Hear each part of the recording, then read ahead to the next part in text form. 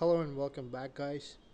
In this video I'm going to show you which is the best networking device that you can use on your Linux desktop computer.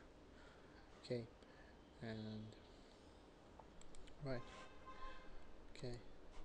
So as you can see here, this is a TP-Link wireless dual band PCI Express adapter. The model number is TLWDN4800. Okay. Now usually there's a lot of cheap USB devices available in the market, you know, for uh, you know, for desktops and for laptops. They're basically Wi-Fi dongles, but I'm going to show you a really good device that actually works with Linux. You know, probably it'll work with all the latest kernels, and it will work with uh, Windows, Windows 8, uh, Windows 8, and Windows 8.1. It's plug and play with Windows 8. I've tried it, yes, and it's plug and play. It's plug and play with Linux. And, uh, you know, let's see what kernel I'm using. The kernel I'm using is uname-a. It's 3.13.1 Manjaro. Okay, I'm using Manjaro Linux, and my kernel is 3.13.1. Okay, and this Wi-Fi device is compatible with Arch Linux, Manjaro Linux, and I've even tested it on Debian and Ubuntu. It works. It's plug and play with Debian and Ubuntu too. Okay, so I don't know about the other distributions. I mean, what, whatever distribution is based on Ubuntu or on SID, you know, the unstable branch, it should work without any problems. Likewise on Ubuntu too, Ubuntu derivatives, you know, it should work without giving any problems. Okay, and what I've from the looks of it, I mean, I've been to the FreeBSD and PCBSD websites, and there's confirmation that the TLWDN 4800 from TP-Link is compatible with FreeBSD and PCBSD too. So you should be able to get this card working in practically all the, all the operating systems that you can get your hands on. You know, so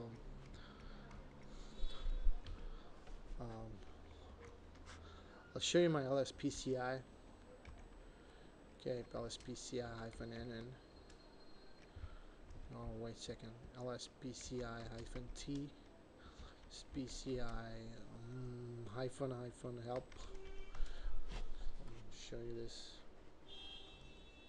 Um, hyphen T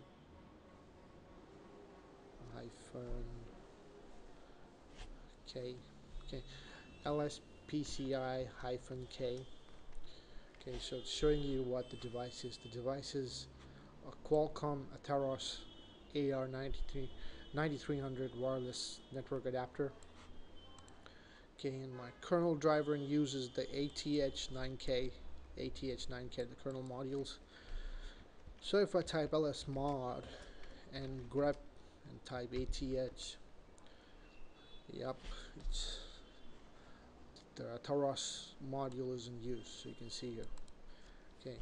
And this device is basically an N900 Wi-Fi PCI Express card. Okay. What this N900 means is that it works it has dual band. So 450 megabits is for uh, the 2.4 gigahertz band and another 450 megahertz is for the 5 gigahertz band so 450 plus 450 gives you 900, so they call it an N900 Wi-Fi adapter.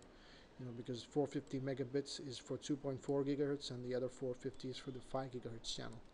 Okay, so you should get around 45 plus megabytes per second download speed on upload speeds. Okay, and it has triple antennas. It's got three antennas. Okay, and let's see, features are the usual it supports WPA, WPA2 and okay so uh, it should have because it's PCI Express it should have extremely low latency okay compared to USB devices. Okay so it should give you exceptional gaming performance and exceptional you know range also. It's got three antennas you can see here. Alright so that basically covers this device okay so it should work on Linux all Linuxes all Linux distros that you can get your hands on. It is plug and play with Windows 8 and Windows 8.1, and it should work with FreeBSD. I mean, specifically PCBSD, so that should cover it. So I hope this information is helpful to you guys. Let me know what you think of this device if you have one or if you're planning to buy one. Okay, write your comment down below and subscribe if you like this video. If you dislike this video, you can tell me why you dislike this video, alright? So, thank you for watching.